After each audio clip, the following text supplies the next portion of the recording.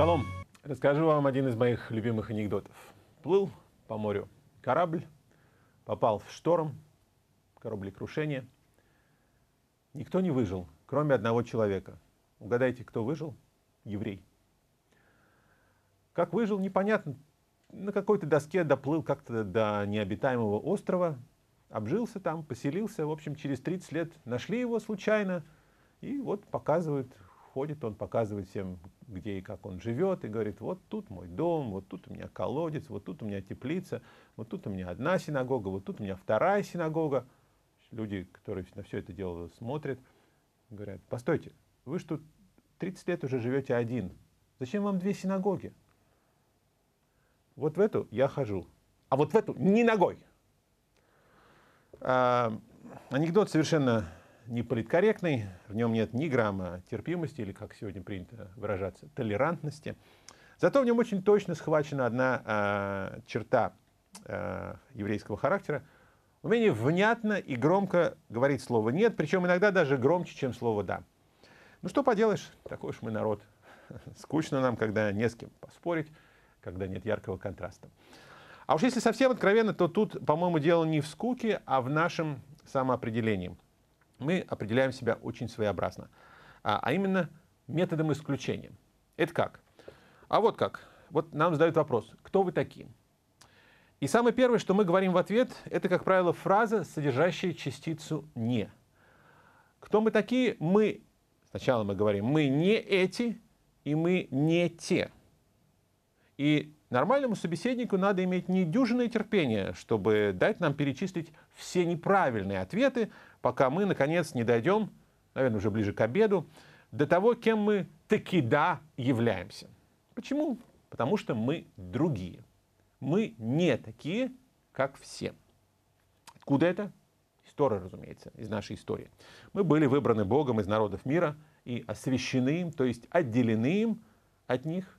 Они идолопоклонники, а мы не такие, как они. Мы другие.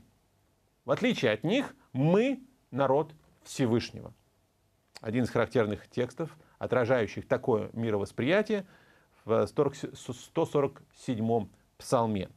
Изрекает он, Господь Бог, слово свое Якову, уставы свои, законы свои Израилю. Не сделал он того никакому другому народу, и законов его не знают они. Аллилуйя. А что произойдет? Давайте просто предположим на минутку. Всего лишь допустим. Что произойдет, если он, то есть Всевышний, таки возьмет и изречет слово свое, уставы свои, законы свои не только Израилю, а кому-то еще. Что тогда? Если вся наша идентичность коренится в нашей исключительности, в том, что мы не такие, как все прочие люди, то это будет смертельный удар по ней. Это конец нашей исключительности и, соответственно, конец нашей идентичности. И конец нам самим, как народу, как уникальному народу. Если Тора дана всем, то кто мы после этого? Чем мы отличаемся от всех прочих народов? Вопрос абсолютно риторический. Именно по этой причине еврейская традиция доходила временами до крайне жестких заявлений в отношении неевреев, пытавшихся или пытающихся, например, соблюдать шаббат, или даже просто изучать Тору. В традиционном еврейском понимании Тора во всей ее полноте, в том числе и заповедь о шаббате, это исключительные привилегии еврейского народа, покушаться на которые не позволено никому, причем под страхом смерти. Источник, пожалуйста, Вавилонский Талмуд, трактат Санхедрин, лист 58. Разумеется, сегодня в Израиле в субботу отдыхают как евреи, так и не евреи. Хотя, конечно, есть и работающие в субботу среди тех и других, поскольку сегодняшний Израиль, слава Всевышнему, не живет ни по Вавилонскому Талмуду, ни по Иерусалимскому. Однако сегодняшний Израиль это немного другая тема. Вернемся на шаг назад. Еврейская идентичность изначально стояла на исключительности, и поэтому конец исключительности евреев это конец еврейской идентичности в привычном ее понимании, то есть кризис. Теперь давайте посмотрим на Иешуа, имея в виду все вышесказанное. С одной стороны, Иешуа еврей до мозга костей, плоть от плоти своего народа. Такой человек, как он, мог родиться только в еврейской среде. Он является воплощением всего лучшего, что когда-либо было во всей еврейской традиции, начиная от Авраама и кончая его современниками. Воплощением совершенно уникальным. Ни один еврей до него и после него не вмещал в себе все, что когда-либо было вложено Богом в целый народ. И поэтому можно сказать, что Иешуа – это весь народ Израиля в лице одного а, конкретного еврея. Не случайно некоторые пророческие тексты Танаха, которые говорят об Израиле как о сыне, о первенце, о слуге или о рабе Господа Бога, а, Новый Завет интерпретирует а, применительно к Иешуа. С другой стороны, этот до мозга костей еврейский мессия, сын Давидов, сын Авраамов, он также агнец, берущий на себя грех мира. Не одного лишь Израиля, подчеркиваю – а всего мира. Агнец как жертва за грех – идея чисто идейская, но еврейский агнец как жертва за грех, действенная в равной степени как для евреев, так и не евреев, для всех остальных, вот это нечто новое. Посмотрим на это иначе. А, с одной стороны, а, Ишуа учитель, да? то есть у него есть ученики. Ближайших 12. То есть он, что значит учитель? Он, он не греческий философ, который э, преподает философию, он еврейский рав. Да? А у него 12 ближайших учеников, есть также более широкий круг, о котором говорят Евангелие 70, а, но все они, естественно, евреи. А, более того, посылая их распространять свое послание о Царстве Божьем, он наставляет их в типично еврейской манере – Этих 12 Ишуа послал, дав им следующее указание. «Не ходите в области Гаим и не входите ни в какой город в Шамроне, но идите к потерянным овцам дома Израиля». Сначала дважды говорит о том, куда не ходить, и потом, наконец, куда-таки да идти. К народу Израиля, причем исключительно к нему. Э, в этой картине все от начала до конца кошерно и привычно. Так? Так. А с другой стороны, после своего воскресения он посылает своих апостолов куда? во все народы. Зачем?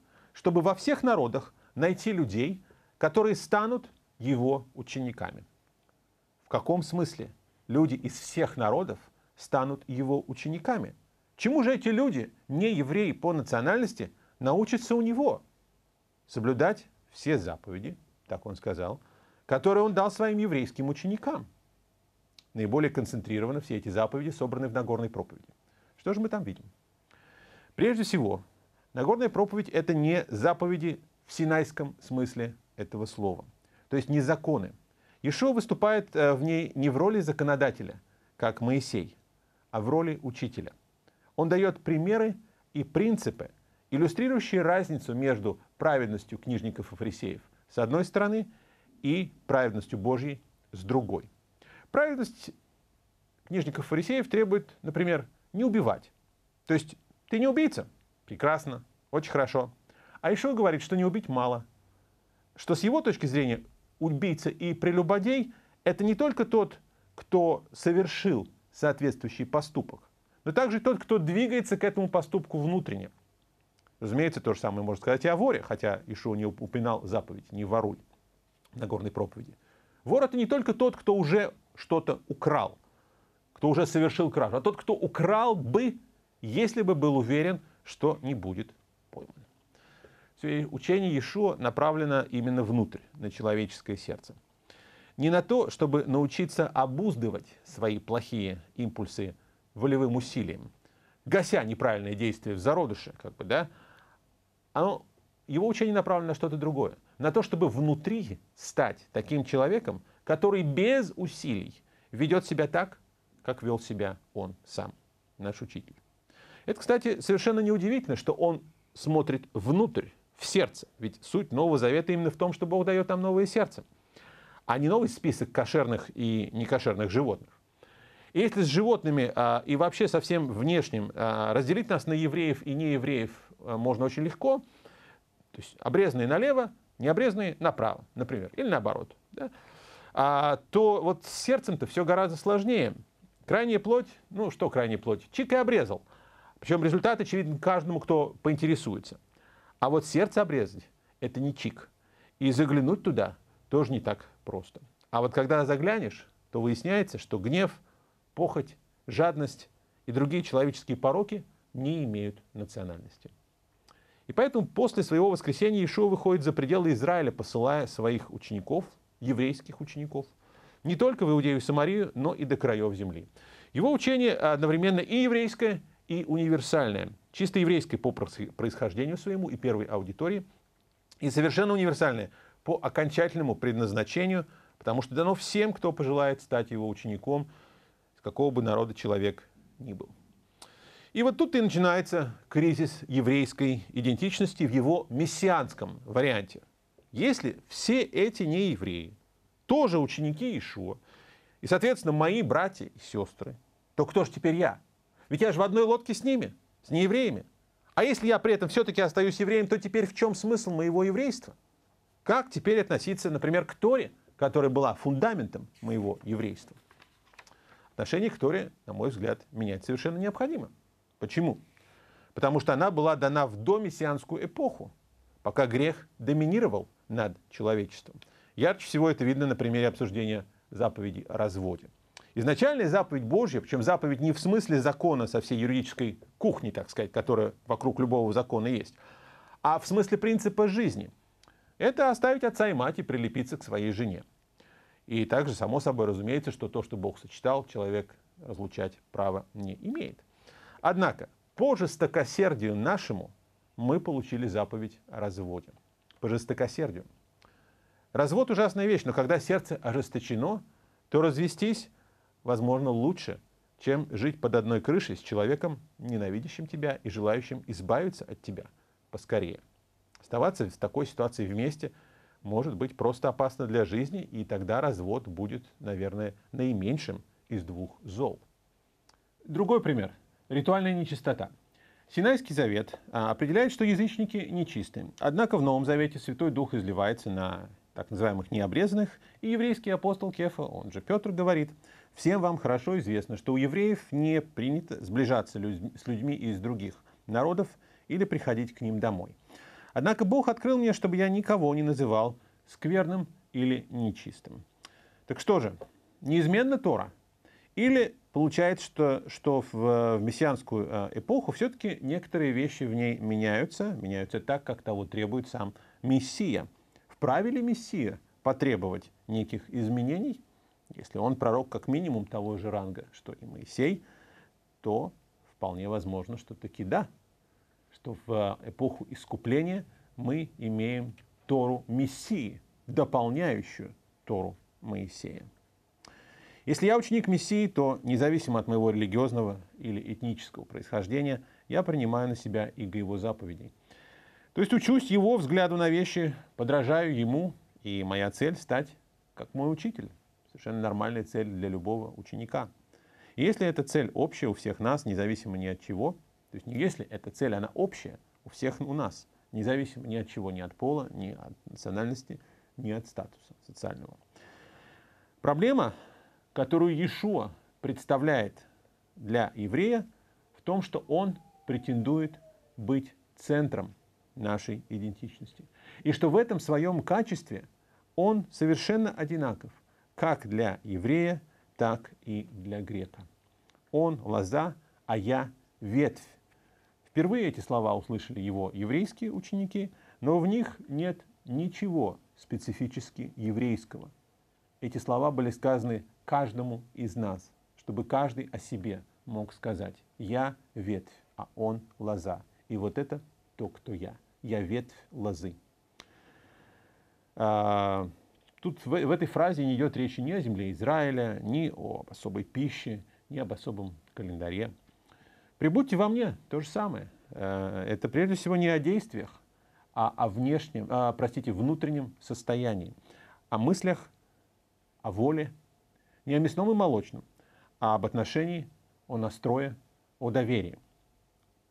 О духе, а не о плоти, другими словами. Но если Иешуа становится центром идентичности каждого, кто верит в Него, то есть мы определяем самих себя через Него, то в чем тогда еврейская мессианская идентичность? Она, конечно, вообще есть после Его прихода. Конечно, она есть, ведь дары и призвания Божии непреложны. Другое дело, что еврейская идентичность Мессии сильно отличается от своей предшественницы. Как мы уже видели, до Иешуа Еврейская идентичность стояла на еврейской исключительности. То есть мышление было такое, что мы и только мы, народ Божий, больше никто не относится к Божьему народу. Мы не такие, как все остальные. А что же происходит сейчас? Несколько лет тому назад я купил э, книгу об иудаизме э, под названием «Первые у Бога».